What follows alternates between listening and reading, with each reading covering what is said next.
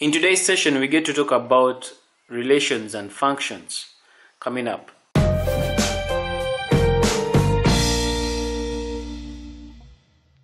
So what exactly is a function? Now, of course, a function by definition, if I may say, a function is simply a process that changes a set of input numbers into a set of output numbers. Now, functions are normally represented by equations such as these you're seeing on top of on your screen. We have right here, we have y is equal to 3x plus 4. This is a an example of a function. Of course, this value of x is what we call the input and this value of y is what we are calling the output. Now, this is just a straight line equation that we are calling a function. We can also represent functions in another way. This is what we call function notation. What we were calling y is equal to 3x plus 4 can be represented as f in brackets x is going to be equal to 3x plus 4. Now this f is probably, this is what we call function notation. Like this value of y is the same as value, is, is, is what is being represented as f of x. The f of x in literal terms in this case will mean that the function of x where the input, I mean the, the function f where the input is x is given by 3x plus 4. Now this means that for every value of input we put here, we are going to produce a certain output. Looking at our function here, if I put the value of x here is 1, if I put the, my input there as 1, my value of output is going to be 7. How? Because if I put 1 here, it's going to be 1 times 3, which is going to be 3 plus 4, giving us 7. So if I put 2 here in this value of x, 2 times 3 is 6, 6 plus 4 so my value of f of x or my value of y or call it my output is going to be 10 if I put here a 3 3 times 3 is 9 9 plus 4 is 13 so my value here is 13 likewise if I put a 4 here 4 times 3 is 12 12 plus 4 is 16 so my value of y or the f of x is 16 what I'm trying to show us here, here is that for every input we are putting in here, we are getting a specific or we are getting a certain amount of output. In this brief table you're looking at, you're seeing that we are having a group of input values and a group of output values.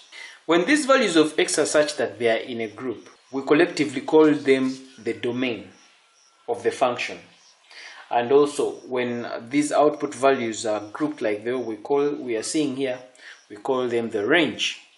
When in a group the input number is called the domain of the function while the output is called the range. Now of course unless it is has been stated otherwise the domain is simply all real numbers for which the equation produces outputs it is always going to be assumed that for every function that we shall be dealing with or for every function that there exists, unless it is stated otherwise.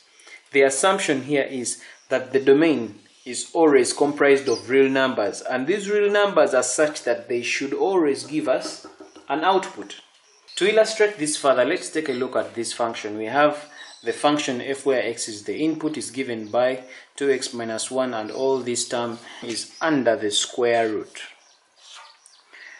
We are saying that unless it is specified the input value or the domain is supposed to be all real numbers that are supposed to be giving us an output whatever if you look at this question the value of x here it just cannot be all real numbers or it just can't be. It's going to be specified. Why?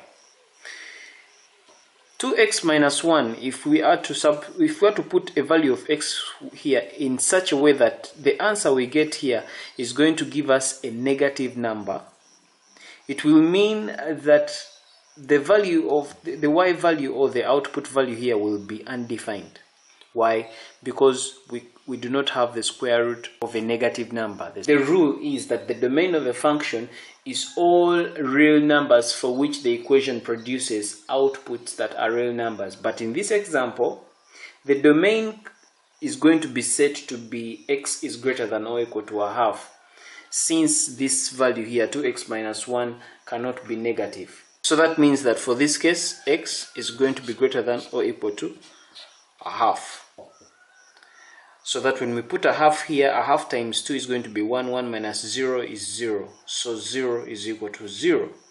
But if we put a figure here like that is less than a half, let's say, let's say we put here 0, it's going to be 2 times 0. 2 times 0 is going to be 0. 0 minus 1 is negative 1 right here in the brackets. Square root of negative 1 gives us uh, an output that is undefined. So it means that in this case that when it comes to the input values, the input values are set to be greater than or equal to a half. So that we make sure that what we are having in these brackets here is always a positive number.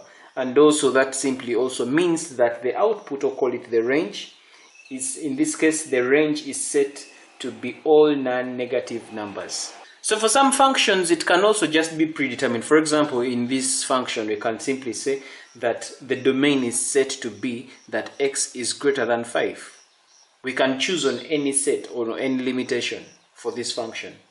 So the general rule here is this, that unless the domain is explicitly stated, like in this case, the domain is assumed to be all real values that produce real numbers as outputs. Now we can represent functions in another way. For example, a function with a small finite domain can be described by a set of ordered pairs instead of an equation like this. What you're seeing right, what you're seeing right there are what we're calling ordered pairs, and ordered pairs is just another way we can show functions. Now, if you look at these ordered pairs, we see that uh, this and that. This is the value of x, that is the value of y, x, y, x, y, x, y. And from these ordered pairs, these values that are in red, the values of x are the ones we are calling the domain, 0, 1, 2, 3. And then uh, the ones that are in blue are the ones we are calling the values of y, which are represented here, 2, 1, 3, and 8. So the domain is that, and this is our range. So from these ordered pairs, you're seeing that every input is corresponding to a certain output. Every input is corresponding to a certain output. Or every value of x is corresponding to a certain value of y. Now, the, this is one thing about functions that you should know. That when it comes to functions, one value of x corresponds to one value of y. One value of x, if it is 1, this one, when it is fed in into a certain function, it's supposed to give us one uh, a, a specific value of y. A specific value of x is supposed to be giving a specific value of y. But then there's sometimes when this thing is not respected. You'll find that, let's say this is 0. When you feed in 0, you find that you're getting 2. And maybe let's say you put in here 0 also, and you find that you're getting another value that is not 2. Let's take a look at this in this illustration. If you look at this illustration R, these, these are ordered pairs. If you look at these ordered pairs R, you find that when we feed in 1 in the input, we are getting 3 as the output. Again, this very 1 is giving another output here of 4. So what does this mean? This means that this 1, the same input 1, is giving us two different outputs. Likewise, in these other two ordered pairs, you're seeing that we are having 2 here and 2 here. When the input is 2, the input 2 is giving us two different outputs, which is 9 and 4. So, because here the input, one input is giving us two different outputs, one input is giving us two different outputs, this distorts the uniqueness of a function. What do I mean by the, by the uniqueness of a function? The uniqueness of a function is such that one input is going to explicitly give us one output. If the input is 1, it, it can only give us one output as far as these ordered pairs are concerned. But when you look at these ones, it is one input, 1, but this one input is giving us two different outputs. So this ceases to be a function. These ordered pairs are not representing a function. These ordered pairs are representing what we call a relation. A relation, therefore, is simply a rule that connects two or more things. And a function is just a type of relation because remember I, the function also is equally is a function is simply a special kind of relation So a function is more like a subset of the relation. The relation is just any equation that relates to things or any rule or any expression that could be algebraic, it could be a quadratic equation, it could be a relation simply is a rule that connects two or more things.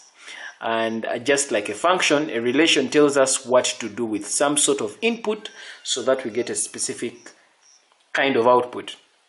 The difference between a relation and um, a, a, relation and um, and and and a relation and a function is that a function has this rule that one input gives us one specific output yet when it comes to a relation one input can give us more than one output like we've seen here. F of x is equal to y is the function notation. And this simply means that the value of f it simply means that the function f where x is the input is giving us y now if you're to represent these ordered pairs in terms of this function notation, you find that the function f, where 0, which is the value of x is the input, is giving us 2 as the output. Right here, the value, the function f, where x is the input, is giving us 1 as the output. The function f, where 2 is the input, is giving us 3 as the output. And finally, where the function f is 3, right there, in this ordered pair, it's giving us 8, the value of y as the output. So this is how we can represent these ordered pairs as using the function notation. First example is more of an objective. If 3, comma 2, 4, comma 2, 3, comma 1, 7, comma 1, and 2, comma 3 is to be a function, which of the following pairs must be removed? Now if you look at this ordered pair right here, the question is asking us that if this ordered pair is to be representing a function it means that one of these ordered pairs must be removed. Now, from this, we already know, or from what I've been explaining earlier, that the uniqueness of a function is this, that one, in, one input corresponds to one output specifically. And if you look at the inputs here, we have 3, 4, 3, 7, 2. Those, that is more like the domain. But from this domain, we are able to see that the domain here, the value of 3 here and the value of 3 here, or the value when when 3 is the input it's giving us um, two outputs. When the input here is 3 it's giving us 2 as the output. When the input here is 3 it's giving us 1 as the output. So it means that when the input is 3 it's giving us two different outputs which is 2 and 1 and if one input is giving us two different outputs that ceases to be a function. This ordered pair therefore is representing what we call a relation. Now, in order for us to make this a function, it means that we have to get rid of one of these ordered pairs. We can either get rid of 3, comma 2 or we get rid of 3, comma 1. If we get rid of one of these, it means that all the remaining ordered pairs will simply represent uh, a function because every input is corresponding to one output. So if you were to answer this question, if you look at these objectives on which of these to eliminate, our answer is definitely going to be A. So in order for us to make this set of ordered pairs a function, we are simply going to remove 3 comma 2. And when we remove that, you realize that the rest of the ordered pairs is such that one input is giving one specific output. One input is giving one specific output, and that makes it a function. Looking on to our next one, we are being asked that what value must be excluded from the domain of x comma y, or from this domain x comma y, where we have been given a function that y is given as x plus 2 divided by x minus 2. Now, which of these should be excluded from the domain? Like, which value of x must be excluded from this for this to hold? We had stated earlier that unless the domain is explicitly stated, the domain is always assumed to be all real values that produce real numbers as outputs. Now, if you look at this expression, there's not there's not been any rule that is stated that the domain is supposed to be running from this value to that value. So it means that that rule applies here that the domain is going to be assumed to be all real values that produce real numbers and outputs. So now it means that this value of y is supposed to be, the, the, the value of x that we are going to feed in here is supposed to be such that it produces a value of y that is a real number. But if you look at this expression, y is equal to x plus 2, divide that by x minus 2. If we put our value of x here, here, uh, let's say, if you look at our value of part A, negative 2. If we put negative 2 here, it's going to give us negative 4 in the denominator. So whatever we get here, if we divide by negative 4, we shall get a, a value of y that is a real number. So we, we, we can't get rid of negative 2. So in other words here, y would be, if, if x was negative 2, y would be negative 2 plus 2 giving us 0. Divide that by uh, negative 4, y would be 0. So let's go to b. If you look at b, if b is 0, if, if the value of x is 0, the value will be 0 plus 2, that's going to be 2. Divide that by negative 2, giving us the value of y as negative 1. So again, we, we, we can't, b is not the answer. So meaning, um, if we look at part C, C is, uh, if we put 2 plus 2 right here, it's going to give us 4 in the numerator. In the denominator, 2 minus 2 is going to give us 0. 2 divide that by 0 is going to give us a number that is not defined. We can't, as in 2 divide, any number divided by 0 gives us um, an undefined kind of number. So what does that mean? 2 divided by 0 gives us a value of y that is not a real number, a value of y that we do not understand. So probably maybe C would be, but let's go to D. D is 2. If, we, if it's 2 and negative 2, well, we already ruled out that if we make x uh, negative 2, it would still give us a value of y that is um, that is a real number. So in this case, uh, our answer for this number is C. Because if we make uh, the value of x2, it's going to give us 2 minus 2 down here. And uh, our value of y would be an undefined number. And we said that unless the domain is explicitly stated, uh, these values of x here are assumed to be all real numbers that are supposed to produce real numbers as outputs or that are supposed to give us a value of y that is a real number. Right now we are going to get into what we call combining functions. We will start off with an illustration here. We have functions, and a function called f and a function called g, with both of them having inputs as x. Now, these functions f and g can be combined. We can combine them by either adding them up, we can combine them by subtraction, we can combine them by multiplying them, we can also combine them by dividing them. So we'll start off with adding the functions. This is the notation. We shall first go through the notation. The notation here of sum of the function, we have a function f and a function g. We call it f of x or g of x.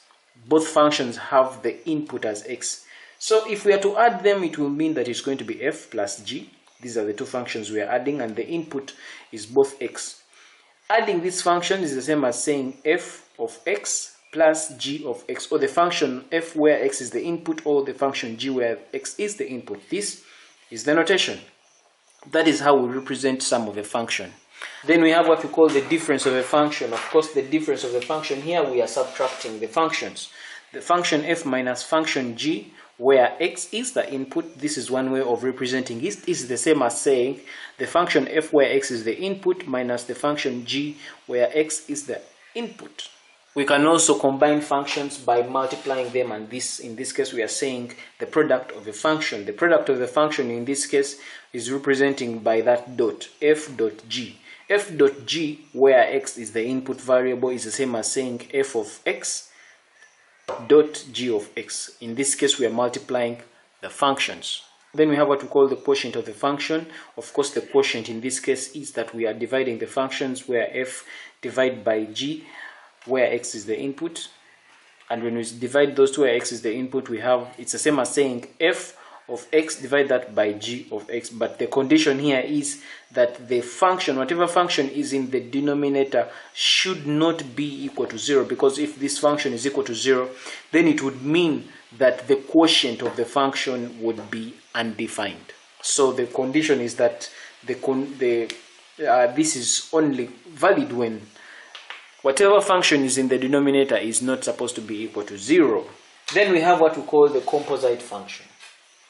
A composite function is more like you place a function in a function. And it is represented by that round dot. It is more of a dot, it is just more of a small round circle.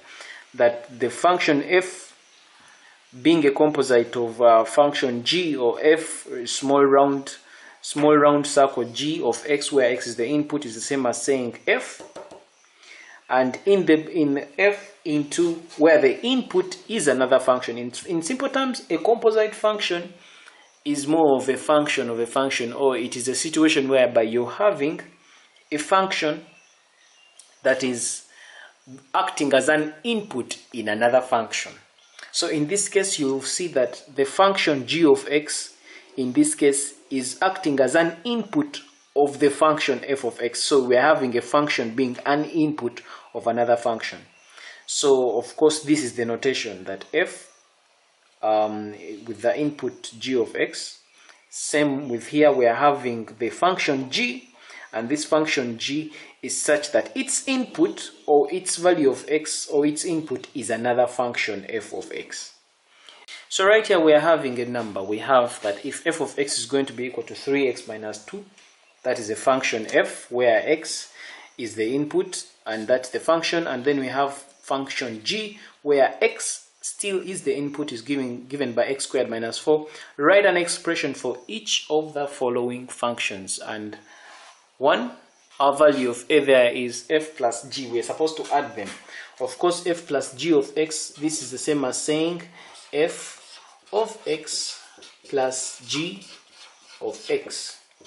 So the function of x in this case here according to our question is 3x minus 2 so this is going to be 3x minus 2 plus our g of x our g of x is x squared minus 4 so we go ahead and add them and get our final expression. So this is going to become 3x minus 2 plus x squared minus 4.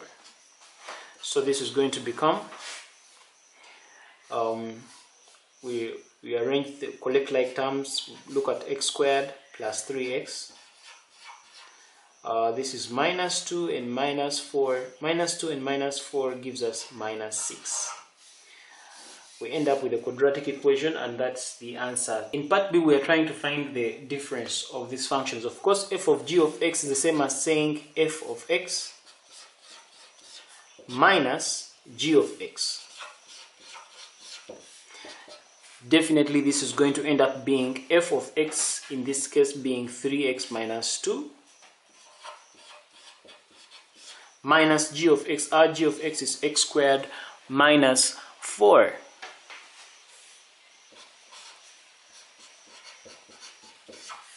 this is going to end up being 3x minus 2 then we open brackets negative 1 times x squared is going to give us negative x squared. Then we have negative 1 times negative 4 gives us positive 4 that's going to become of course we collect like terms. This is going to become um, 3x that is minus x squared.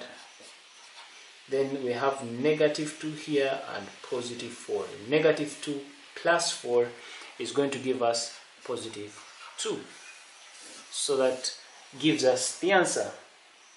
Or if I may rearrange this in the form of a quadratic equation it turns out to be x squared plus 3x plus 2 then we have here we are multiplying the the two. We have f dot g. This is the same as f times x. This same as f of x.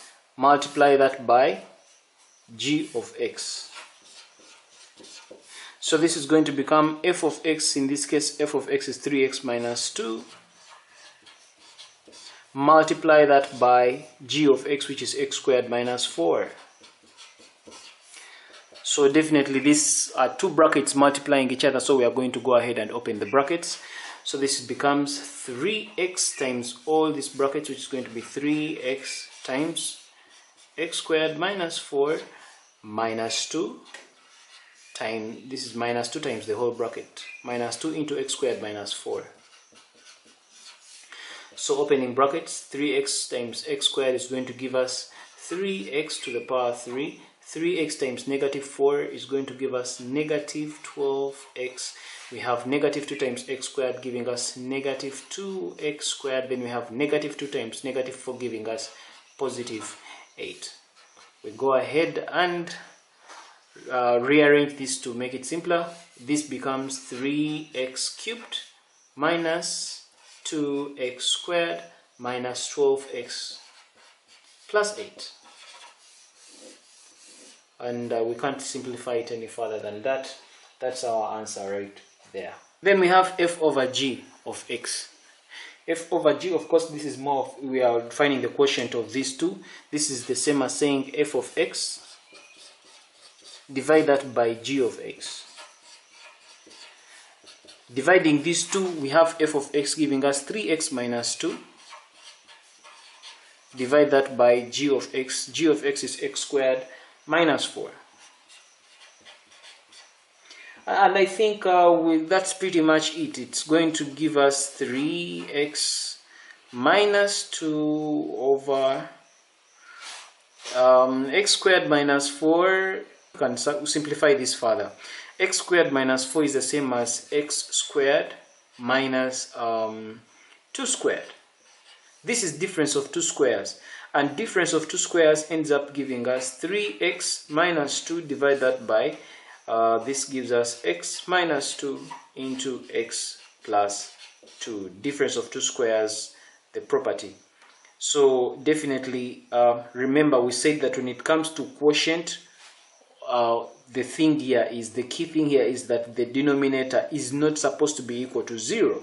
This is how we illustrated it here that f the, when we are looking at the quotient function it is supposed to be such that the denominator the g of x is not equal to 0 so since here it, the, the quotient function is such that it is 3x minus 2 over x minus 2 into x plus 2 the condition here is that if I make x um, 2 here uh, if I make x 2 it's going to be 2 minus 2 this is going to be 0 and it will make this whole denominator 0 Likewise, if I make x this x here negative 2, it's going to make this whole thing negative 2 plus 2 giving it 0 so it's going to make the denominator 0 and this this function the quotient function would be undefined.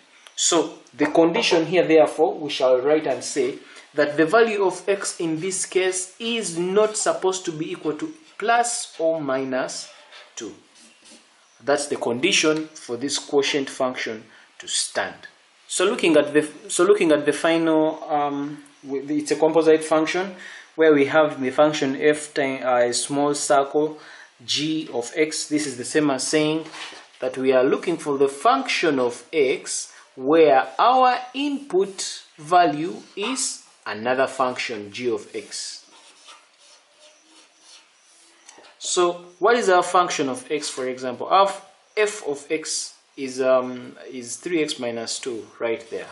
3x minus 2. That's our function, f of x, our function where x is the variable.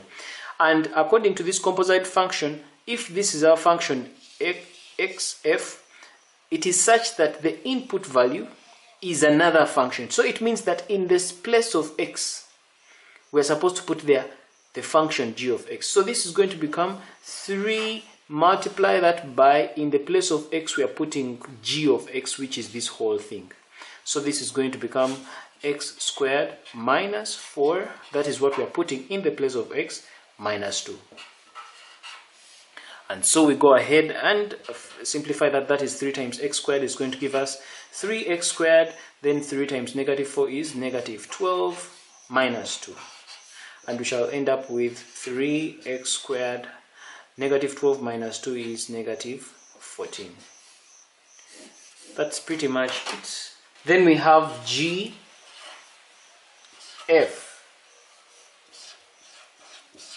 Then we have gf of x.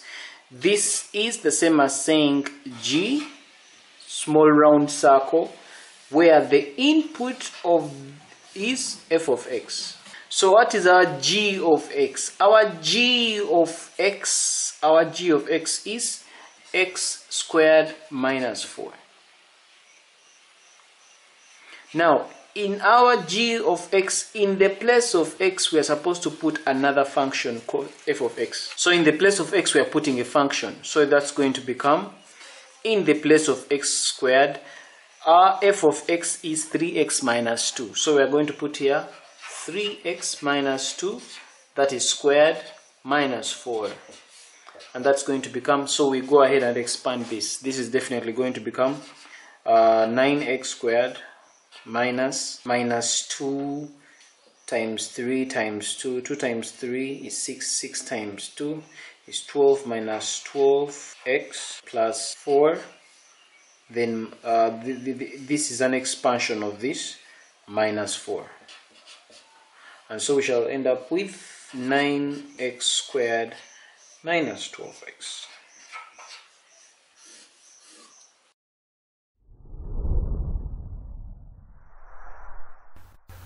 So in this session, we are going to look at how to combine functions. We are going to look at a few worked examples relating to functions, how to combine them.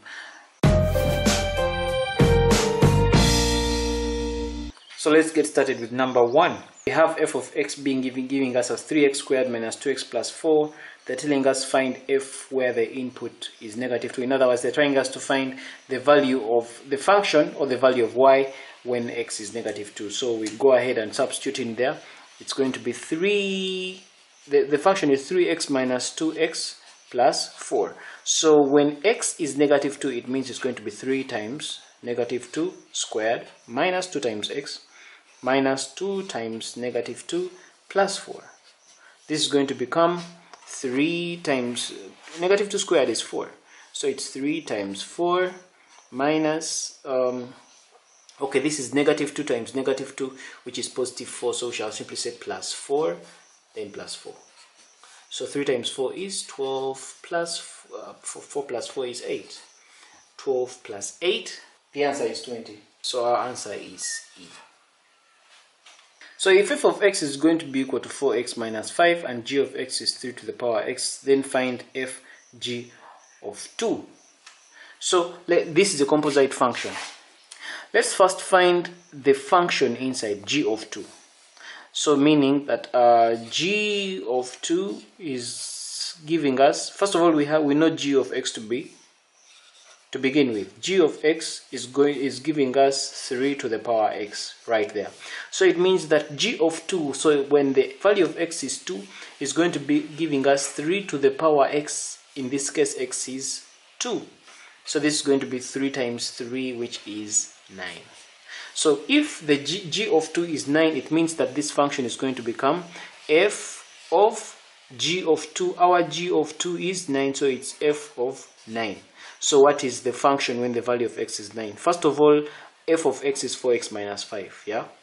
So it means that if f of x is going to be 4x minus 5, so f of 9, so in the place of x there is a 9, so it means that where there is x we put 9, it's going to become 4 times 9 minus 5 that's going to become uh, 4 4 times 9 is uh, 36 so it's going to become 36 minus 5 36 minus 5 gives us 31 so the answer is D and then we have this number if f of uh, this composite function is given by 4x squared minus 8x and f of x is x squared minus 4 then what is g of x so we have been given f of x. If you look at this question, this is f of x. This has been given. f of x is x squared minus 4.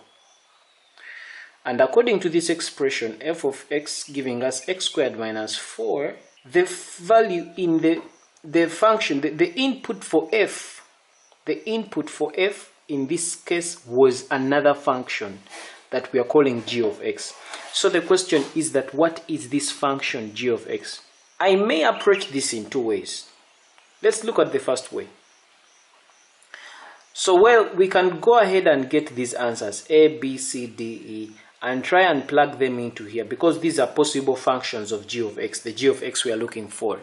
So we are going to plug in a right there or b in there, then we plug in c in there, then we plug in d right there or we plug in e right there and then we see that if we plug in this function g of x in the place of x in this expression Do we get this expression? A number that gives us this expression, when we plug this in here, will be the answer. So let's get started. So let's begin with A. A is 4 minus x. We know that f of x is going to be x squared minus 4. So if 4 minus x is given right there, so this is going to become f of 4 minus x is going to give us 4 minus x minus 4. This is squared. So this is going to become, um, of course, this is the whole value of x. This is the input actually, the input. So that, that's the input right there. So this is going to become, of course, 4 squared is um, 16 minus 8x plus x squared minus 4 and this is going to become x squared minus 8x then 16 minus 4 is 12 plus 12 now this expression is not that so it means that a is out. Of course if we go to b uh, part b if we put x uh, part b put plugging in x here is simply going to still give us putting x there it's going to simply give us x minus 4 so b is out of the picture. Let's try c 2x minus 2 if we put 2x minus 2 in the brackets here as our input for this expression is it going to give us that? So we try. It's going to be this becomes f of um, 2x minus 2 is giving us x squared. In this case it's going to be 2x minus 2 this whole thing is squared minus 4 this is going to become expanding. This is giving us 4x squared minus 8x plus 4 minus 4 of course this is going to become 4x squared minus 8x and if you look at this this 4x squared minus 8 is consistent with this 4x squared minus 8 in this case the answer here is C. So the question again if this is equal to that and this is equal to that uh, the, the, this composite function it means that the g of x is going to be 2x minus 2 in other words if our function of f is such that the value of x here is the function and which function is 2x minus 2 if we plug in 2x minus 2 there then our output is going to be that. So that was one way of doing this. Now what if they give us this very same number and what if they didn't give us these answers and we were supposed to just find it the way it is? How would we go about that? So this is another this is an alternative way of looking at this. We have this composite function f into g of x is giving us 4x squared minus 8x and f of x is giving us x squared minus 4 so what is g of x? Now to begin with this is a composite function. We are having the function g of x inside f so we shall start with this. We have f of x is giving us x squared minus 4 that is the original function. But now what happened let's substitute in the value of g of x in this expression. Because it is a function where the input is another function g where the input is also x. So in this case this means that if we put f the function f in brackets where the value of x now the input has become g of x this makes this function to become g of x where there is x is where you put g of x. So it becomes g of x, this is squared minus 4. So um, what is the function where f of g of x is this expression?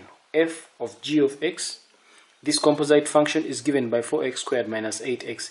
So that is exactly what we go ahead and do. We go substitute this here. We say that 4x squared minus 8x is giving us this expression g into x all this is squared minus 4 so what we do here we go ahead and solve this and we make g of x the subject of the formula and we'll be able to get our answer as required by the question. So this is going to give us 4x squared minus 8x this 4 comes this way it becomes plus 4 is giving us g of x. This thing is squared. So we have a quadratic equation here in x. So factorizing this becomes 4 outside the brackets into x squared minus 4x minus 2x plus 1 is giving us g of x and this whole thing is to the power 2 so this continues to be 4 into uh, factorizing this quadratic expression is going to give us x minus 1 squared is giving us g of x and this whole thing is squared. So definitely to make this whole thing squared because we want to eliminate this square we do it this way. This is going to become 2 into x minus 1 this whole thing becomes squared. This becomes g of x. This whole thing is also squared. So definitely for us to get rid of this square sign we find the square root on both sides.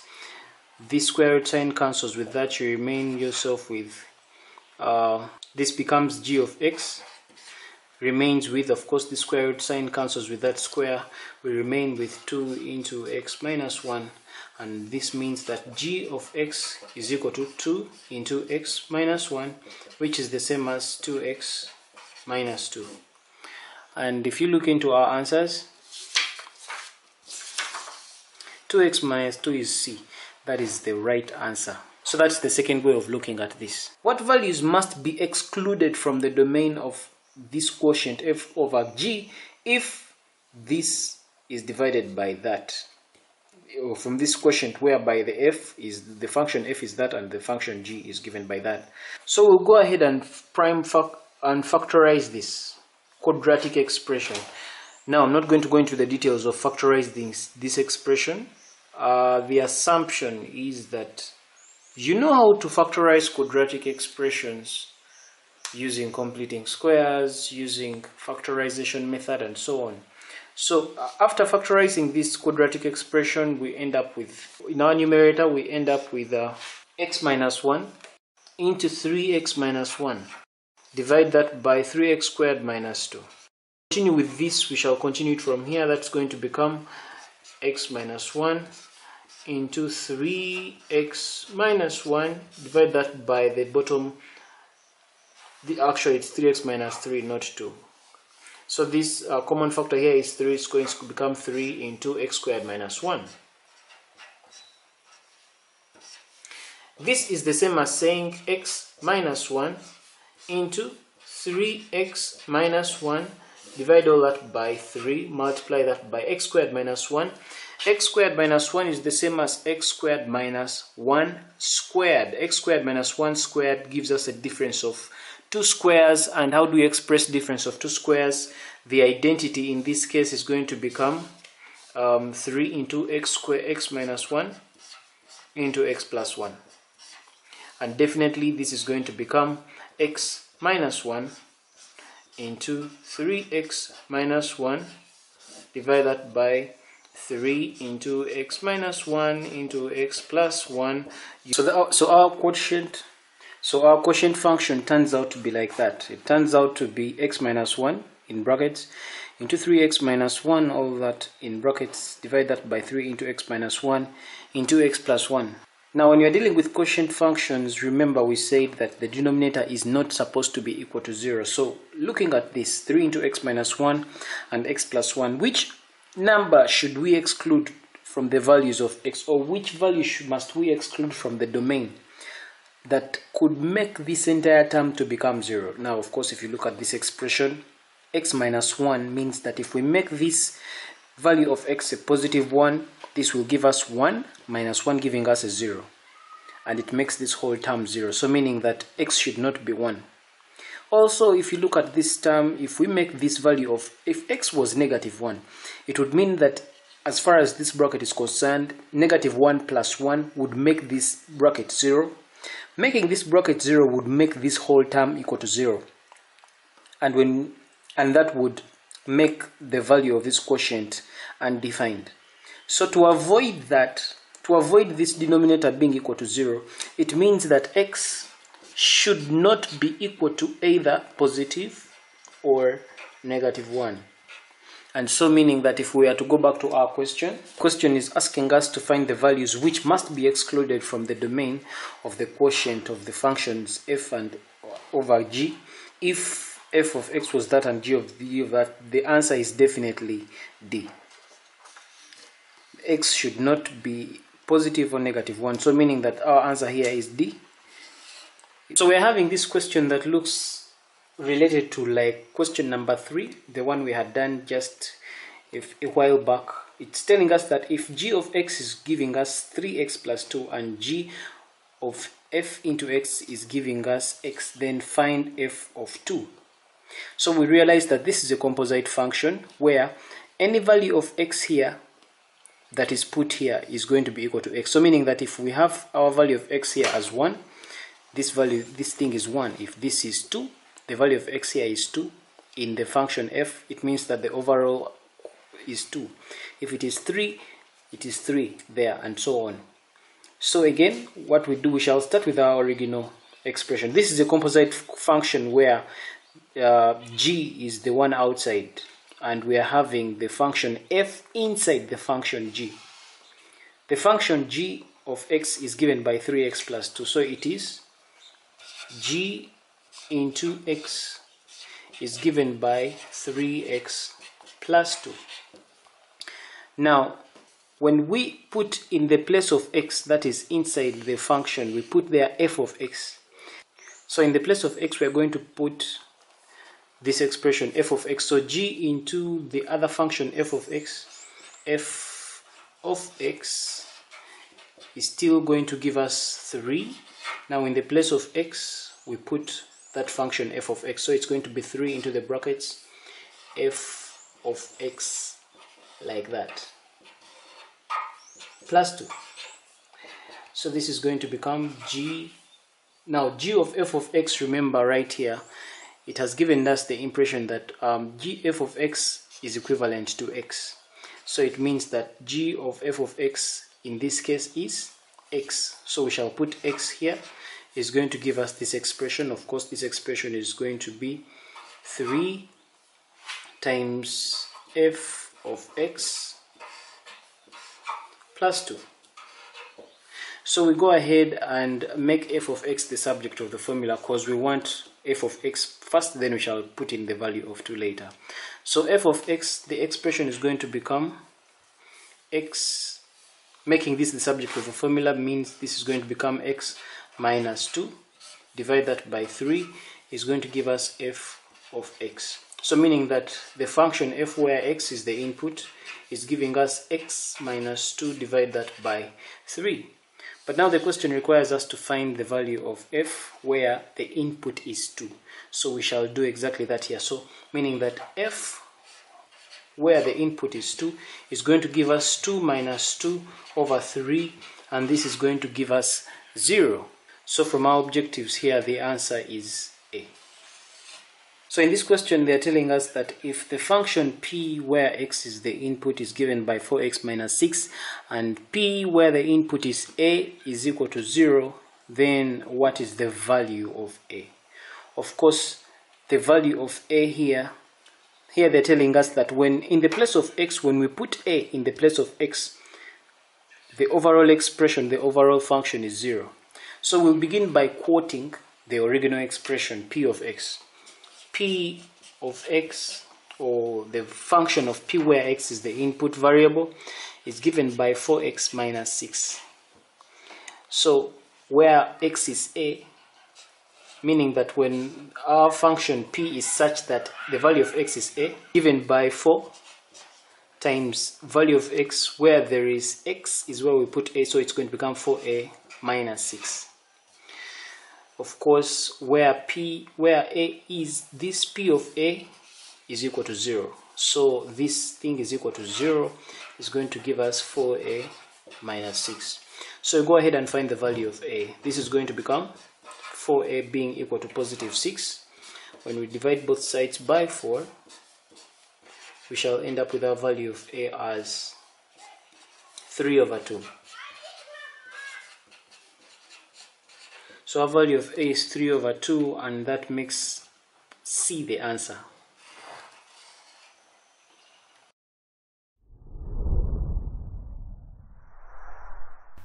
In this session we get to look at the inverse of a function. Now speaking of an inverse of a function, it is another way of saying the reverse of a function and it is denoted by that power negative 1. We know that functions can be labeled as f, g, h, or any letter. The inverse of a function is denoted by that power negative 1. For example, if the function is labeled g, the inverse of the function will be g to the power negative 1. If the function is labeled h, the inverse of that function will be h to the power negative 1. Now, of course, for a function to have an inverse, it's supposed to be satisfying a certain relation. And the property of this relation is such that that very function, and if that very function is made a composite of its inverse, it is supposed to be equal to this relation, and all that is supposed to be equal to x. So it means that if you're having two functions, and one function is f of x and the other is the inverse, or the inverse of that very function, then for that to be true, those two functions are supposed to satisfy this relation. And from earlier on, this simply means that these two are composite functions, not multiplication. To illustrate that further, we have this function here, f of x is going to be equal to 4x plus 2. The question is asking that if f of x is equal to 4x plus 2, then is the inverse of this same function given as x minus 2 over 4 we need to prove that this is true. Of course for us to prove whether this function is indeed an inverse of that we are going to use this relation. We are going to use this relation and see if we do this it's going to equal to x. Then we are going to work out this as well and see if it is equal to x. And if this relation is fully satisfied then we can conclude and say that yes it's indeed true that this function is the inverse of the other. So we get started with the working. So f of x composite its inverse. This is going to be give this is interpreted as that the function where the input is the its inverse. So we know that f of x definitely is 4x plus 2. So this is going to be 4 times x. Now in the place of x, if this is f of x, if f of x is given as 4x plus 2, so it means that in the place of x we are going to put the inverse. This is what we are representing here. That So where there is x, we are going to put the inverse. So in this case we are going to put f times x minus 2, divide that by 4 plus 2. Of course, from here, this 4 is going to cancel out with that 4, and we are going to remain with x minus 2 plus 2, and we shall end up with x. So that's the first bit. We have been trying to verify this part of the relation here. So we are going to go ahead and do the same thing, but the reverse way, in this form. So we are going to do a reverse of this. So the composite function of those two this is interpreted as the inverse where the input is going to be f of x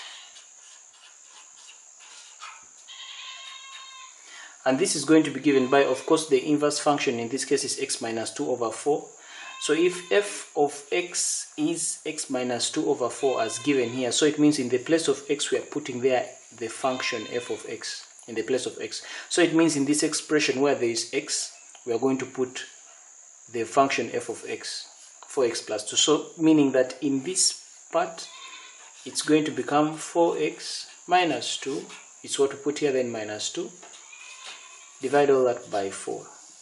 So definitely this is going to become 4x minus 2 minus 2. Divide that by 4 This will become 4x minus 4 over 4. This will give us 4 into x minus 1 divide that by 4 this is supposed to be 4x plus 2 minus 2 so definitely this is going to be 4x plus 2 minus 2 and um, this is plus 2 minus 2 this is giving us 0 so it means this is going to become 4x plus 0 that is plus 0 and this ends up being 4x over 4 this is out. So 4x over 4 the 4's will cancel out and you remain with the value of x being that. So from here you notice one thing. You notice that when we make this a composite function of that in this expression as exhibited here we ended up with our final answer being x. Likewise when we did the second step here which is this and that you found that our final answer was x which is still satisfying this.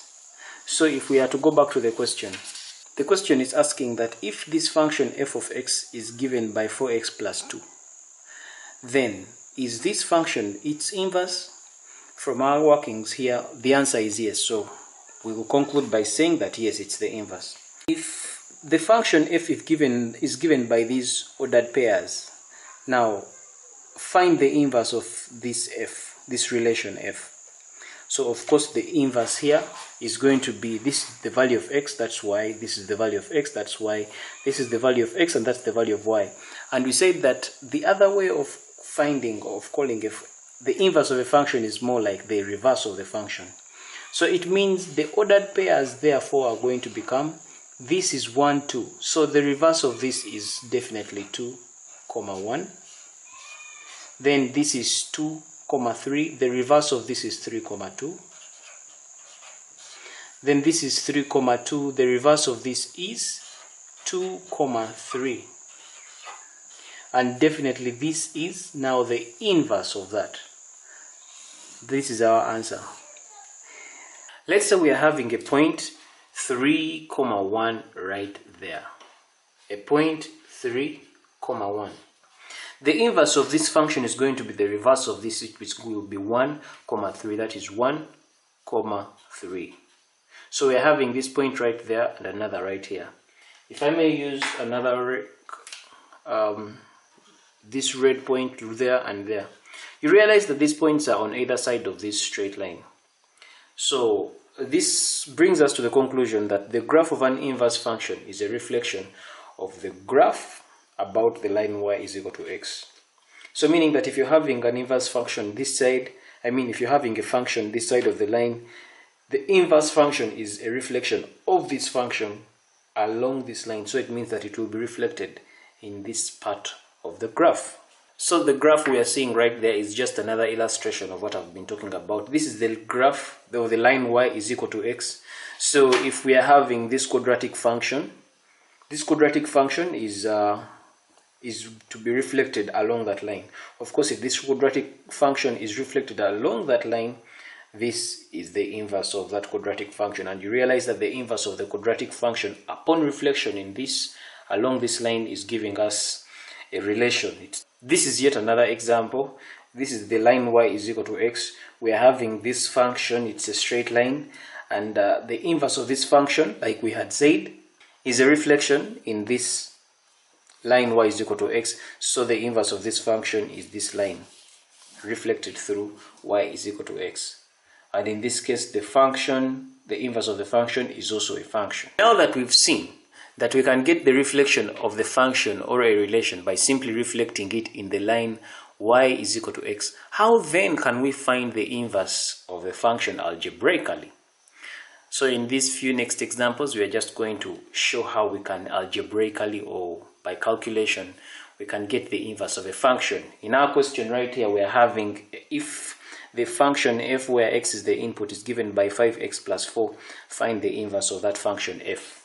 So finding the inverse of that function f, we get started off by uh, first of all acknowledging this uh, f of x, let's call this f of x y.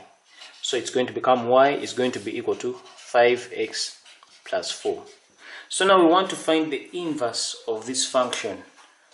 What we do is that we are going to make x the subject of this formula. When we make x the subject of this formula, and then we flip the two remember we said that the, the, the inverse of a function is more like the reverse of a function so if it's the reverse of the function it means that x is going to become y and y is going to become x and that's it. So let's let's start let's start it off this way. So we're going to first make x the subject of the formula. And so this means it's this is going to become uh, we, we flip 4 comes this side this becomes y minus 4 is going to be equal to 5x so when we divide both sides by 5 we end up with our value of x being equal to y minus 4 over 5 so since this is uh, we are making it uh, this is the, the, the inverse is more like we are trying to flip it or find the reverse. It means that we make uh, this value of x becomes back y and this value of y becomes x. So it means in our next step we shall just say that y therefore is going to be equal to x minus 4 over 5 and therefore we shall say that the inverse of this function f the inverse of the function where x is the input is equal to x minus 4 over 5. So this is how we find the inverse of this function algebraically. This is the same way you would go and plot this on a graph and then you reflect this function in the line y is equal to x. You would still end up with a function of this nature. So we have this one too. We have f of x is going to be equal to x squared. What is the inverse? Again, let's call this y. y is going to be equal to x squared. So our task is to find make x the subject of the formula. So making x the subject of the formula, we eliminate this square. It becomes the square root of y is going to be equal to x. Therefore, here x is going to be the square root of y. So what we do is that we make x become y, we make x y and y x, we flip them. So it means that y is going to be equal to the square root of x. Therefore, the inverse is square root of x like that.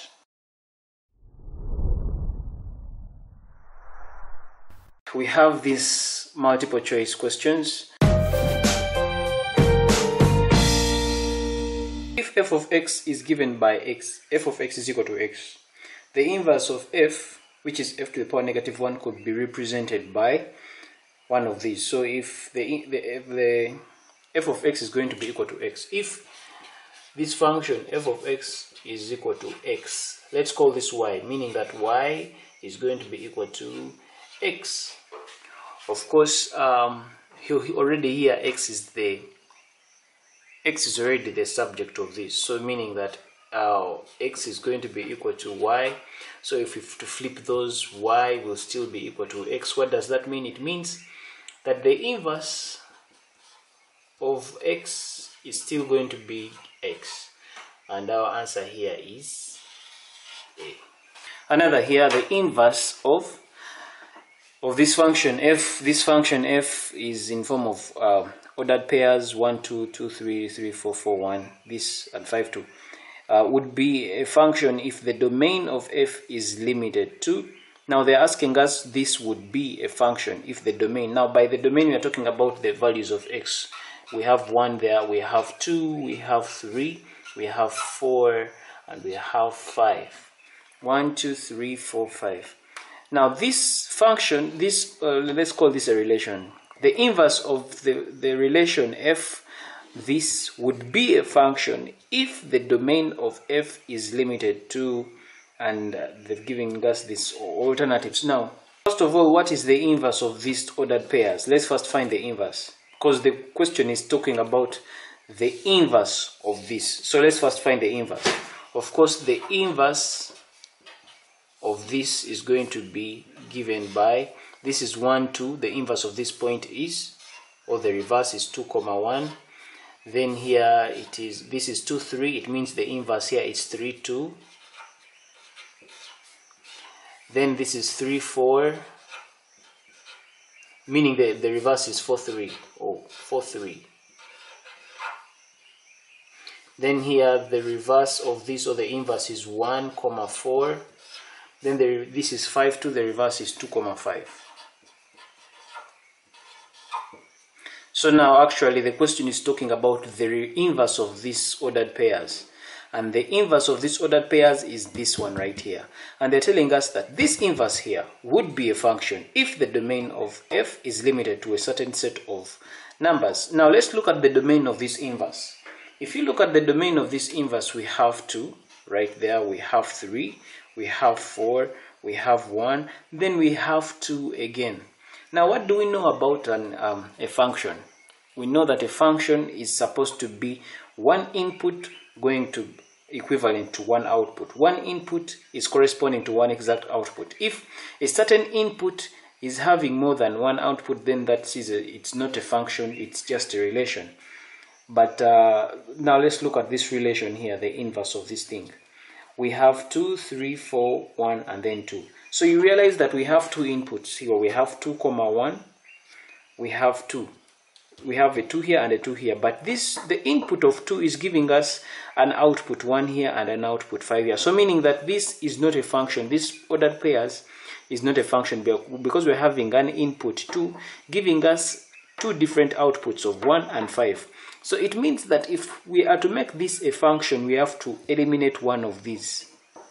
Because the uniqueness of a function or the major characteristic of a function is that one input corresponds to one exact output, not one input having two different outputs.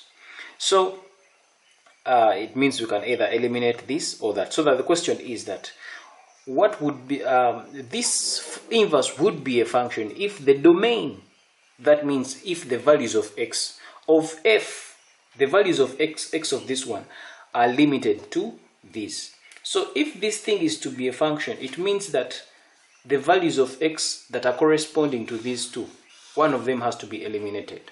So it means that we are either going to eliminate this or that. So if you're to come back to this, this 2 comma 1 corresponds to this, and this 2 comma 5 corresponds to that. So it means that if this is to be a function, we have to eliminate f. The domain of f should be limited to. Now it either has to be uh, we either have to eliminate one or we have to eliminate five. One of those two.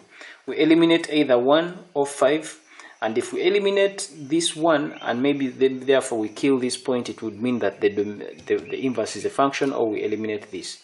So we'll come here and see which one has been eliminated in our answers. So the domain would be limited to 1 3 5 no that is not it. A is not it. Part b we have one which is that two three and four. This one b looks correct. C is one and five. These are the ones we are eliminating. C is not. Part d is one two uh, four and five. So both are still there. C d is not it. Then we come to part e is 1, 2, 3, 4, and 5. Part E includes all of them. It's not.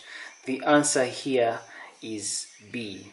That uh, B is having 1, 2, 3, and 4. So meaning that we've eliminated this one. So part B is the answer here.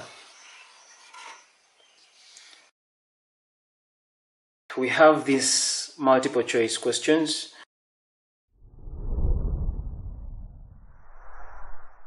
In today's session, we get to look at what we call even and odd functions. So we'll start straight away with what an even function is. Now, an even function is one where when you plug in negative x in the place of x, the same function will return. We shall describe, we shall use illustrations to paint the picture clearer regarding this. So let's look at this we have a function f of x is going to be equal to x squared. Now the input value here, here is x and it's giving us x squared. So now if in the place of x we put 4, this is going to become 4 squared, that's going to give us 16. When it gives us 16, we go and do the same thing and put a negative 4 in the previous place. When you put a negative of the same function here, it's going to become negative 4 squared and it's still going to give us the same number 16. Now because when we plug in a negative value it's going to give us the same answer 16. This makes f of x being equal to x squared an even function. This is the other illustration. We are having another function f of x is given by x squared plus 3. Now let's choose a number 5 when x is 5. We put 5 in the input there. Of course when x is 5 here it's going to become 5 squared plus 3. 5 squared is 25 plus 3 giving us 28.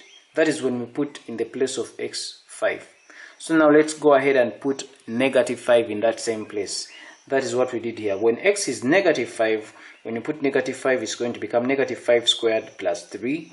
Still giving us 25 plus 3, giving us 28. Now, when we plugged in a positive 5, it gave us 28. When we plugged in a negative 5, it still gave us 28. So that property makes this an even function. Again, an even function is one where when you plug in a negative x in the place of x, the same function will return. And that is exactly what we mean. All even functions are symmetric about the y-axis. Now by saying that they are symmetric about the y-axis, it's like saying the y-axis is like a mirror or it's a line that divides the function into two equal parts. Let's take a look at a few graphs to illustrate this further. Now if you look at this graph, this is more of a quadratic graph. This quadratic graph is an even function. Why is it an even function? If you see this quadratic graph, it is symmetric about the y-axis. In other words, the y-axis divides it into two equal parts. So, or so it is symmetrical about the y-axis. This is what we mean. Now, when it comes to odd functions, and it's a bit different for odd functions, that instead a negative value is going to be returned when we change. Let's take a look. We have the function f of x is given by x to the power 3. So let's make x be equal to 2. When we put 2 in there, when the input value is 2, we are going to get here is 2 to the power 3 giving us 8. So now in the same place, we are going to put negative 2 here. When you put negative 2, negative 2 to the power 3 is going to give us negative 8. So now with, uh, with an odd function, when we put a value of x in the place of value of x when we put in a negative value in the place of x like we have done here you're going to end up coming with a negative answer or a negative function so that brings us to that relation for odd functions that for an for odd functions that for so that brings us to that relation regarding odd functions that for odd functions this is exactly what happens that when we put a negative answer actually this is, is more accurately put when we say that when f, when we put a negative value in there, it's going to return a negative, like that. And of course, this negative, if you multiply it on both, multiply by negative on both sides, it turns out to be this expression. So that is uh, for odd functions. For this is how the relation comes out about for odd functions that when you put in the place of x you put a negative x you're going to return it's going to return this as your answer now it's important also to note that odd functions have a rotational symmetry about the origin. By rotational symmetry it means that if i was to turn this thing uh, if this was my center and i was to turn this graph by 80 degrees it would still eh, look exactly in the same it would it would it would have the same shape if I turned it 80 degrees when this is my center.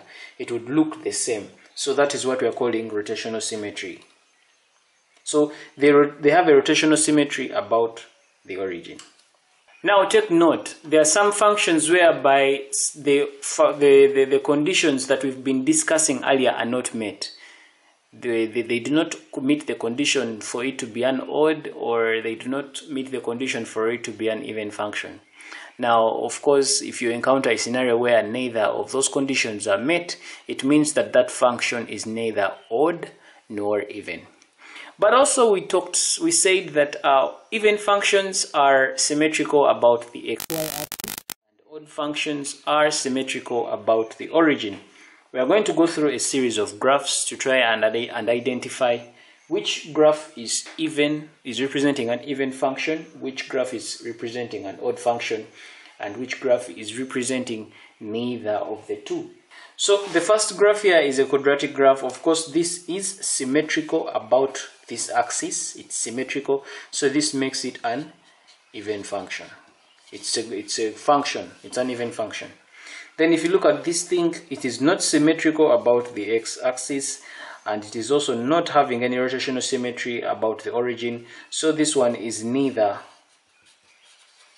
it is neither odd nor even. Then we have this one right here. It is not symmetrical about the y-axis. In other words, this y-axis is not splitting it into two equal parts. And also, so so and also it's not having a rotational symmetry about the origin. So this one is neither. It's neither odd or no even. Looking at this one, this one, if you look at the y-axis, the y-axis splits it into two equal parts, meaning it's having a symmetry about the y-axis so this one is an even function. This one right here it's not symmetrical about the y-axis. It is not having a rotational symmetry about the x-axis eh, about the origin meaning this one also is neither odd nor even. No it's neither odd nor even uh, looking at this graph right here it is having if you look at the y-axis it splits it into two equal parts or into two parts that are identical to each other. So it is having uh, it is symmetrical about the y-axis meaning that this represents an even function. This one right here is having no rotational symmetry and it is not symmetrical about the y-axis so this one is neither odd nor even. This one right here it is uh, it's not symmetrical about the y-axis meaning uh, the y-axis is not is not dividing it into two and also but it's having a rotational symmetry about the origin. In other words if you're to turn this into 180 degrees it would look exactly the same. If you turn this into 180 degrees it would look exactly the same. So it means that this is an odd function since it's having a rotational symmetry about the origin. If you look at this one it's not having a rotational symmetry about the origin and it is not having a symmetry about the y-axis. It's not symmetrical about the y-axis so meaning this one is neither odd nor even then looking at this function, it is symmetrical about the y-axis. In other words, this and that, it's more like a mirror. This is reflected in that direction. So it is symmetrical about the y-axis, so this makes it an even function. Looking at this one, this one is symmetrical about the origin. In other words, if I was to rotate this graph by 180 degrees, it would look exactly the same. So because it is symmetrical about the origin, it is an odd function. This one is not symmetrical it's neither symmetrical about the y-axis. It's also not symmetrical about the origin so this one is neither. Odd nor even. So we have taken note of that. When we want to identify graphs that are representing odd or even functions the key thing to take note of here is this that when it comes to odd functions, odd functions are symmetrical about the origin, uh, or they have a rotational symmetry about the origin. And uh, when it comes to even functions, even functions have uh, uh, even functions are symmetrical about the y-axis. So we have some numbers here to work out. We are required to classify each of the following as even or odd or neither and from there of course we are not going to draw graphs. We are going to calculate them and see which ones are even which ones are odd and which ones are neither. Of the two shall start with part a. Now let, let us be reminded first of all that when it is for an even function when uh, for an even function when we plug in a, uh, a negative here it's going to return the same function when it is an odd when we plug in a negative right there it is supposed to return something like that. Like we had seen earlier. Uh, let, let, us take note of this as we get started. We have our part A here as f of x is giving giving us x to the power 4 minus x squared. So um, meaning that f of negative x means it's going to give us uh, negative x to the power 4 minus negative x to the power 2 and of course negative x to the power 4 is still going to give us x to the power 4 minus negative x to the power 2 is still giving us x. So you realize that when we plugged in a negative it still gave us this x to the power 4 minus x which x to the power 4 minus x is f of x. In other words here when we plugged in f negative x it produced this which is this. It produced f of x. So this means that this is an even function. That is how we arrive to that conclusion that part a is an even function. The function is part b f of x is 3x squared minus 5x that's the function so let's plug in a negative here and we see what we get. So f of negative x is going to give us 3 into negative x squared minus 5 into negative x. So, uh, oh, this is to the power 3, it's 3x cubed, so this is to the power 3 right there. So, of course, here are 3 um, 3 into negative x to the power 3. Negative x to the power 3 is going to give us negative 3x to the power 3 minus 5 times negative x gives us negative 5x like that. And now there, if you're to put this negative outside, it becomes negative um, outside the brackets into 3x cubed minus 5 x and if you notice that this is going to become minus and what is in the brackets here is 3x cubed which is 3x cubed minus 5x minus 5x this is minus f of x. So if you notice that when we plugged in the negative when we plugged in f of negative x we ended up with that. So this is a property for odd functions. So it means that this is an odd function. So part C we are having f of x is giving us 2x plus 5. So let's plug in a negative here. A negative, uh, that is f of negative x is definitely going to give us 2 times negative x plus 5 and then definitely we are going to end up with uh, negative 2x plus 5 now definitely this um, does not satisfy any of these conditions. This does not satisfy any of these conditions. It does not satisfy this condition. It does not satisfy this condition. So what that, that means that part C the function part C is neither odd it's neither odd nor even. Now we have a function part D. The function D is f of x is equal to 3x squared minus 4x. Let's plug in the negative. f of negative x, what do we get? Does it return the same function? Um, that's going to become 3 into negative x squared minus 4 into negative x. And this is going to become, of course, negative x squared is going to still giving us 3x minus um, negative x of course it's minus negative 4 this is more like 3x plus 4 that is f of negative x giving us that.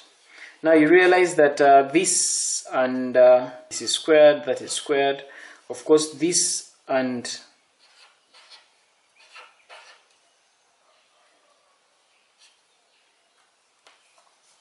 So you realize that there is no connection between this function and that function in terms of what we call an odd number or an even number or in terms of what we call an odd function and an even function. So what does that mean? It means that this is neither odd, neither odd nor even. So what kind of conclusion are we coming up to here? When it comes to odd functions and even functions, this is the conclusion.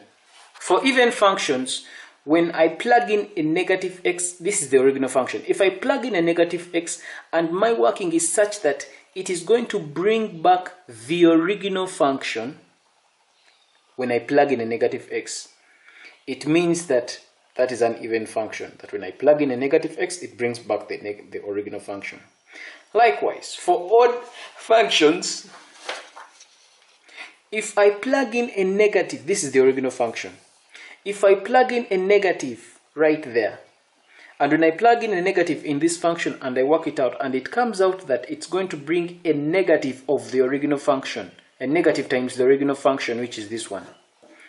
It means that, well, that is in this case, that if I plug, I get a negative, uh, when I put in a negative in the original function, it's going to give me negative the original function, then that qualifies to be an odd function.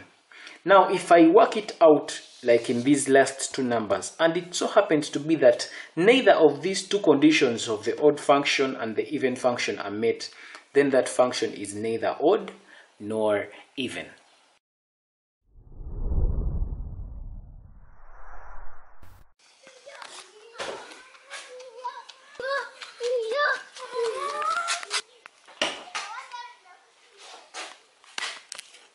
In this session, we are going to do some three multiple choice questions regarding uh, the topic on odd or even functions. Now,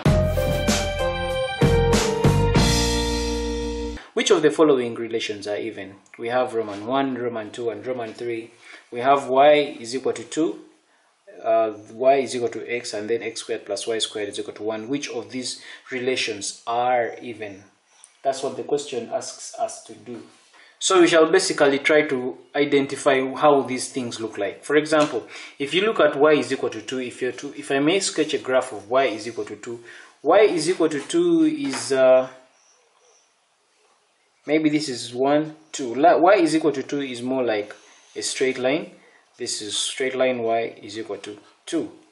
Then this other um, f of x is equal to x, that graph looks like this uh, f of x is equal to x or the graph y is equal to x is looks like that. This is y is equal to x. And then roman 3 x squared plus y squared is equal to 1 this is the equation of a circle. Um, so it means that it's going to look like that. It's equation of a circle. And the question is which one of these is even? Of course i'm using the graphs to try to figure this out we said that an even function is symmetrical about the y-axis. Now, if you look at this, it is symmetrical about the y-axis. So, my meaning that this one is even.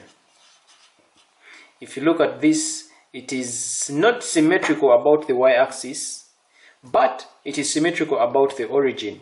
In other words, if I flipped this or rotated it uh, 180 degrees about the origin it will look exactly the same. So it means that this one is an odd function. Then if you look at this you realize that this circle if I first of all about it is symmetrical about the y-axis. I mean if you look at it it is more like this is a it, it is mirrored this way. It is symmetrical about the y-axis. And also if I was to rotate this function about the origin. I flip it in the um, about the origin, like in 180 degrees, you'd find that it will still look the same. So it means that this function is both odd and even this function. So getting back to the question now, they're asking us which of the following relations are even. Of course, the ones that are even, we have this one and that one. So the answer there is 1 and 3. Our answer there is D. Then we have another question there still with the same. Which of the following relations are odd? We have y is equal to 2, which is this one. We have y is equal to x, which is right there. Then we have x squared plus y squared is equal to 1, which is that circle. Which one of the following relations are odd? The ones that are odd, we have this one and that one. So the answer here is 2 and 3 are odd. So looking through our objective answers, we have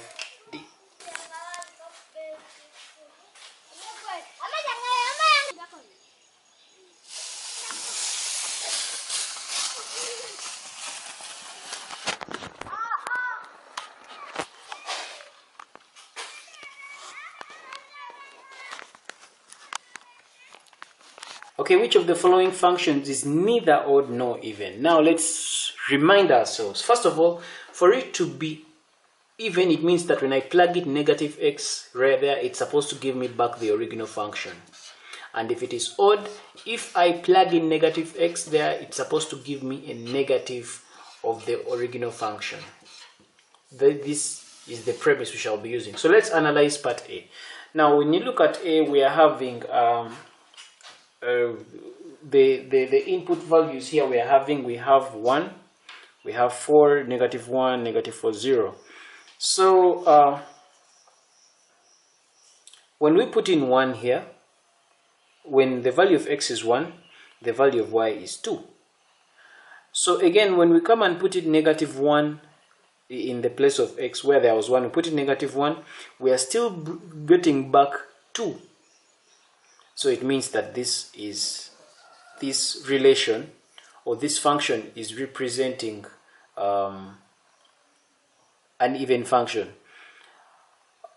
Another thing that proves this is this another thing that proves it is this. This is x. When the value of x is 4, we have 7. Now, in the, in, in the place of 4, when we put a negative 4 here, we are still getting back the same value 7. So it means that a is an even function, so that won't work. Let's go to part B. If you look at the ordered pairs in B, um, if you look at, uh, for example, when we plug in x, when x is 1, we get 2 as value of y. Now, instead of putting positive 1, when we put negative 1 in the place of x, we are going to end up getting a negative answer in the place of y, negative 2. So this satisfies this condition. This is an odd function. The same can be seen here with 4. When I plug in 4, uh, positive 4, I get positive 7. When I plug in negative 4, I get negative of this, negative 7. So this is an odd function. So B is also not the answer. Let's go to C. Uh, if you look at C, we have y is equal to x to the power 3 minus 1. y is equal to x to the power 3 minus 1. Uh, let's call this f of x. f of x is going to be equal to x to the power 3 minus 1. Now let's plug in a negative x here. So f of negative x, what is it going to give us? f of negative x is going to give us negative x to the power 3 minus 1 and definitely this is going to give us negative x to the power 3 minus 1 as our f of x. Now this does not um, it's not giving us a, uh, this back. It is this is not consistent with this. This is also not consistent with this. So uh, C is neither odd nor even uh, so I think that C would be the ultimate answer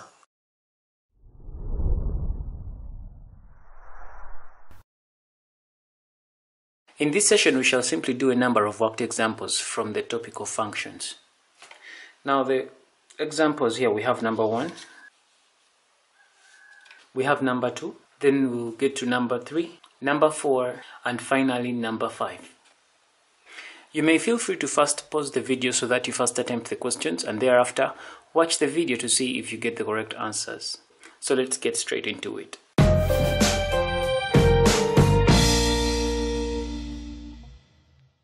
Number one is telling us that if f of x is equal to 4x minus 8, then part A, what is f of 2? Now if you look at this function, f of x is equal to 4x minus 8, where there is x, when, when x, if you may look at it this way, that x is in the bracket, so when we look at this linear function, whatever is here is what is substituted here. So now if you look at part A, part A is saying that what is f of 2? The function where the value of x is 2. Now, since in the brackets we're having x and this is the function, so in the place of x we have 2, it means that even in this function where there is x is where we are going to put 2 and then we'll be able to get the answer to this expression. So in this case this is going to become 4 times x, the value of x is 2, 4 into 2 minus 8 and that's going to become 4 times 2 is 8 minus 8 and that is going to give us 0 that is part A. Let's get to part B part B is what is f of 3 we are going to do it like before. F of 3 means that it's going to become our function is 4 times our value of x uh, in this case our value of x there is 3 in the brackets minus 8 and this is going to become 4 times 3 is 12 minus 8 and our answer right there is 4 let's go to part C part C is what is the function where the value of x is mouse. So it means where there is x we are simply going to put that word mouse. So part C it's f of mouse is going to be equal to 4 into brackets. Now where there was x in here there is mouse. So we shall put here the word mouse minus 8 mathematically we can't go beyond this. So that's the answer part D if f of x is 16 what is the value of x? So now still our f of x is equal to 16 so what is the value of x in this case? Now of course f of x is equal to 16 our f of x according to our question f of x is given by 4x minus 8 so our f of x can is the same as 4x minus 8 that is going to be equal to 16 so you can go ahead and find the value of x. In this case it's going to become 4x is going to be equal to 8 comes this side it becomes 16 plus 8 so we have 4x giving us 24 when we divide both sides by 4 we end up with our value of x as 6 and that's our answer. Part E we are being told that if uh, the function whereby the value of x is 2b is going to be equal to 28 what is the value of b? So we go ahead and find the value of b. Now remember our function up here is f of x is equal to 4x minus 8 it means that whatever is in the brackets is what is supposed to be put here. Now right here what is in the brackets our value of x is 2b so it means that in the place of x here we are going to put 2b so this is going to become 4 times in the place of brackets. We put 2b minus 8 that's going to give us 28 so we open brackets here 4 times 2 is 8b minus 8 is equal to 28 and so this our 8b becomes 28 plus 8 8b is equal to 36 when I divide both sides by 8 I shall end up with my value of b as 4.5 now part F. Part F is telling us that f of c plus the function of where the value of x is 2c is equal to 8 find the value of c.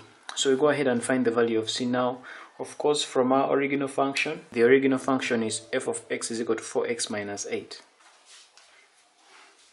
looking at this function where the x where there is x is is what we put here. If there is 2 here we put 2 here. If there is 3 here we put 3 here.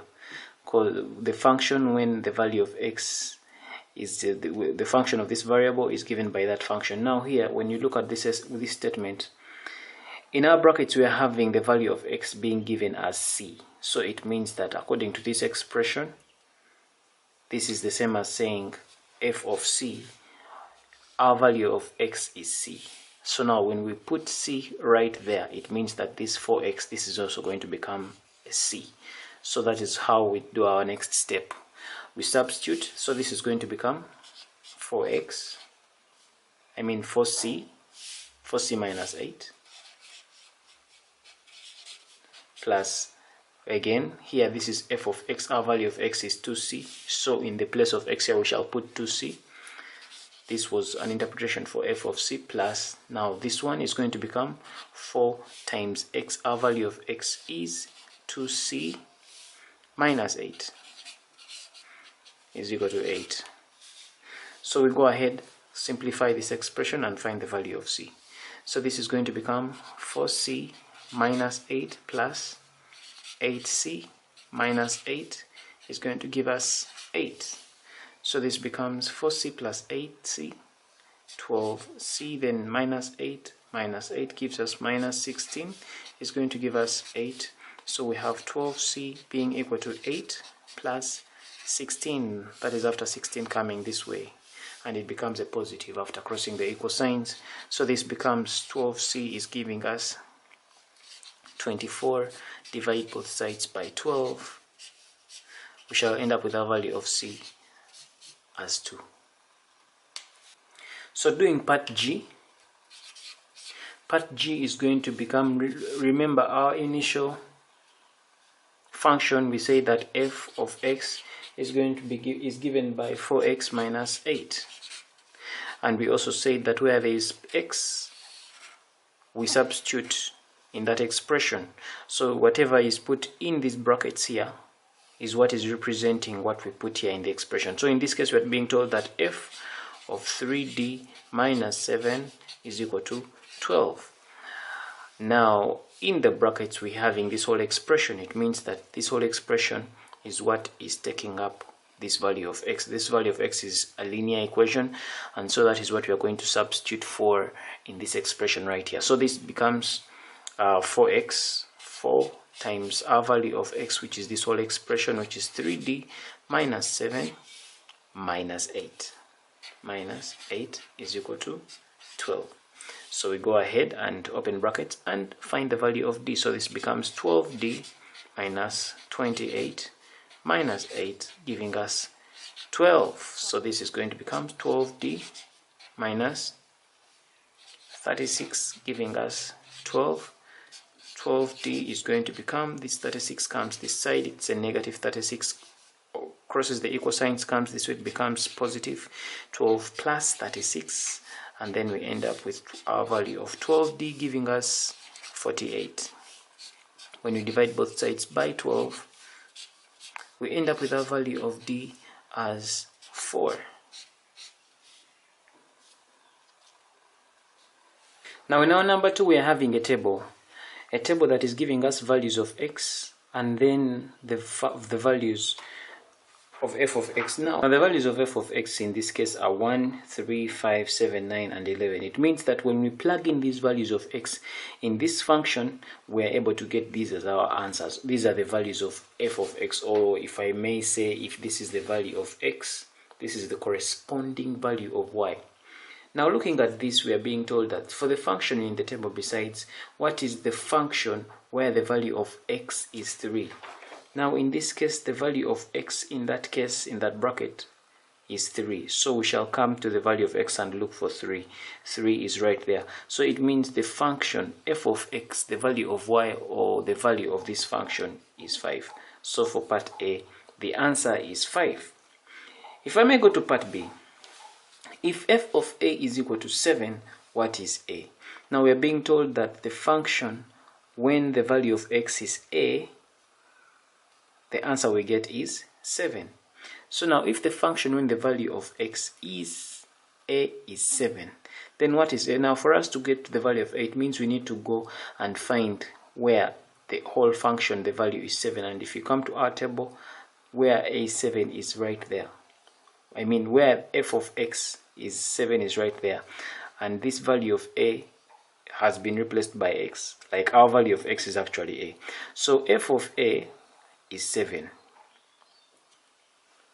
So when f of a is 7, it means the value of a here is 4. So it means that this value of a here is 4. So when the value of a is 4, or when the value of a, or in this case when the value of x is 4, the function is equal to 7. Now let's go to part C. We are being told that if f of 2 or when the value of x is 2, the function is equivalent to b. What is the function of 2b? So it means we need to first find b. Now to find the function f when f of 2 is equal to b, so to first get the value of b, it means we've, we've been told that it is b when the value of x here is 2 so we come to our table. When the value of x is 2 f of x is going to be 3 so it means that if this is the our value of x here is 2 f of x is 2 so the function here is equal to 3 so it means that f of 2 is uh, 3 therefore our value of b is 3 now that we know that our value of b is 3 now we can go ahead and find f of 2b so it means that in this case it's going to become f of 2b is giving you f of 2 times our value of b which is 3 in this case it's going to be f of 6 so what is our f of 6 what is the function when the value of x is 6 so we can go ahead and find that what's our function when our value of x is 6 the value is 11 so it means that this is going to be so our f of 2b is 11 and that's how that number is. Number 2 ends like that. Now if g of x is equal to x squared then we need to answer part a b and c with reference to this expression with reference to this function. We are being told that the function of g when is equal to g of x the function g where x is a variable is given by x squared so now what is the function of g when the variable is negative 2? So first of all we know that the function g of x is equal to x squared. The function g when x is the variable is given by x squared. So what is g when the variable is negative 2? Therefore this is part A. So g when the variable is negative 2 like we are saying here is going to mean that where the, the variable is we substitute here it becomes negative 2 squared and this is going to become negative 2 times negative 2 and gives us positive 4 so we go ahead and find part B. Part B tells us that if g the function g when the, with a variable m is equal to 36 find the value of m. Remember all this is in reference to that expression so it means that our variable has become m in this case. Where there is x, we have put m, our variable has become m. In other words, the value of x now is m. And they're telling us that when we come and put m right there, our value, the value of this expression of the function is 36. So it means in this expression, g of x, our value of x has become m. It means that if there is m here, it means that this is the same as seeing m squared right there. So this becomes m squared is the same as 36. To 1. go ahead and find the value of m, we find the square root on both sides. This goes with that. m becomes this square root of 36 is either a positive 6 or a negative 6. So the value of m, the values of m are actually 2. That is our part B. Again now g the vari variable g where the value of x in this case now has become w is equal to 12 find the find g of 2w so g w is equal to 12 so first of all we seek to find the value of w so it means that if g is equal to uh, it, originally the, the variable was x and when the variable of x it gives us x squared so now if the variable is w right there, it means that this is supposed to be also w squared. We just substitute. So it means that this becomes w squared here is given by 12. So for us to go ahead and get the value of w, we find the square root on both sides so that this goes with that to remain with w, giving us the square root of 12. Now we have the value of w. But the question requires us to find the variable the g of 2w so we go ahead and substitute that right there. So what is g of 2w now g of 2w is going to become um, of course g of 2w remember from our initial uh, expression it is g of x is equal to x squared what is in the brackets here is what takes up the place of x in the expression. So here what is in the brackets here is 2w so that is exactly what is going to take up the place of x in this expression which is going to become 2w squared. So this is going to become um, 2 times w. Now we got w as the square root of 12 times the square root of 12 and all this is squared. So we can go ahead and find our answer this squared of course this is becomes is going to become um, 2 root of 12 times 2 root of 12 so this is going to become 2 times 2 is 4 times of course a square root a square root of a number times the square root of the number gives you that very number. So this is going to remain times 12 and of course 12 times 4 times 12 gives us 48 and that is our answer. So going on to number 4 we have delta x is given by 1 minus 3x so if delta x is given by 1 minus 3x what is delta 2 so here in essence they're saying that what is delta 2 in the place of x there is 2 so what is going to be this expression? So if I may rewrite the solution here delta x is going to is given by 1 minus 3x so meaning that delta 2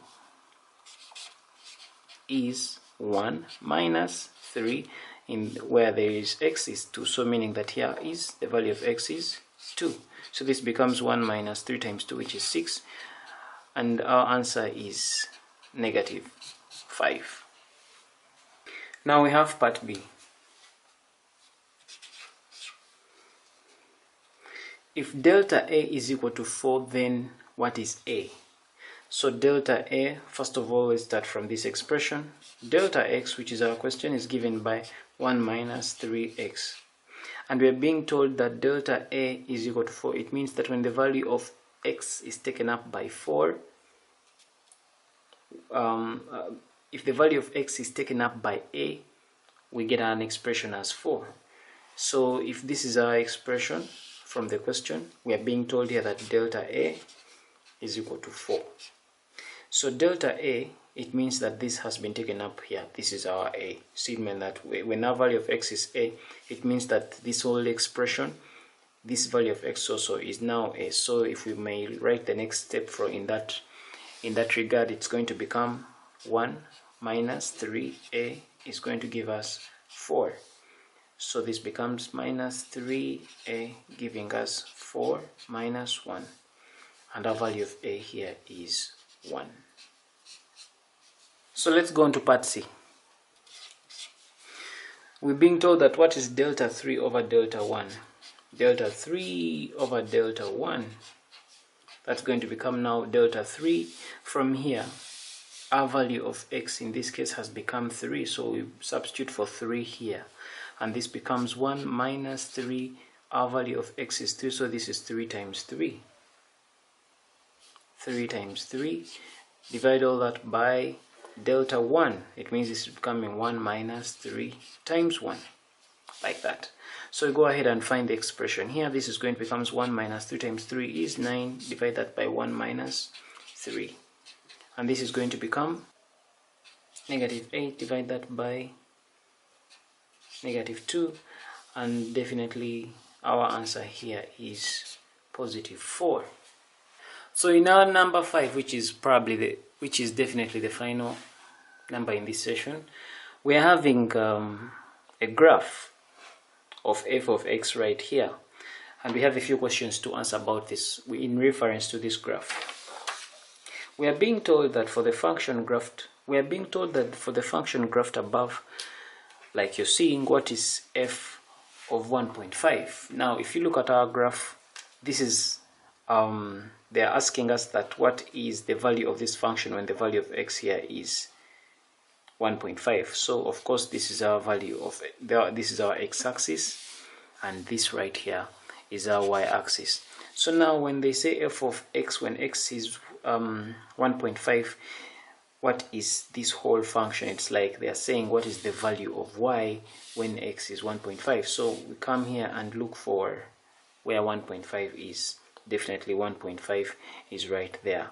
And if you look at 1.5 here it's corresponding to a value of y as 2 so meaning that uh, the f the function when the variable x is 1.5 f of 1.5 is equal to 2 or it's the same as saying um, the value of y is 2 when x is 1.5 so that's part a. Part b we are being told that if c is greater than 0 and f of c is equal to 1 what is c? So now what is c? So what is c when this whole the value of the function is equal to 1 or in other words they are saying that when the value of y is 1 what is the value of x because in the brackets here is the variable. And our value of x in this case is c. So we look for f of c or the value of y when it is 1 when our value of y is 1 if I may come here in this our value of y is 1 or our f of c is 1 is this line. This is the line where it is 1 so when our value of y is 1, there are two possible values of x. We have this value right here. We have this value right there. That is according to this graph. According to this graph, when our value of y is 1 or when our value of f of x is 1, the two possible values of x is this and that. But then the question is saying that if c is greater than 0 and f of c is equal to 1, what is c? Now we got this and we've, we have their two possible values and uh, of course the value here.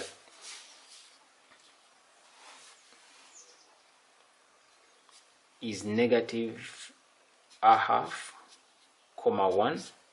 And then this one right here is 2.5 two, two and a half comma 1 now, since the question is saying that the R value of C is supposed to be greater than 0, R value of X here is supposed to be greater than 0, if you look here, the value of X here is less than 0. So it means that the value of X they're talking about is this one, which is 2.5 or 2.5. So the value of C here is 2.5. So let's look at part C. For how many values of X is f of x is equal to 3 over 2? So how many values of x do we have when the f of x or when the value of y is 3 over 2 if I may simplify that like, like that. So how many values of x exist when the value of y is 3 over 2? So 3 over 2 is the same as 1.5. So we shall go and look for the value of f of x is equal to 1.5 or call it the value of y to be 1.5 and we see how many values of x are there. So we shall come here and look our value of y to y is equal to 1.5 is right there. 1.5 this is the value. 1.5 this is the line. Y is equal to 1.5 or call it f of x is equal to 1.5 this is the line. So how many values of x are there? Of course if you look at this function this line crosses this at that point at the, this graph at that point and it also crosses it at that other point. So what does that mean? It means that when our value of y is 1.5, there are two possible values of x, this value and that value. So the answer to this question, for how many values of x are, of x is f of x is equal to 3 over 2, the values are 2. And that brings us to the end of this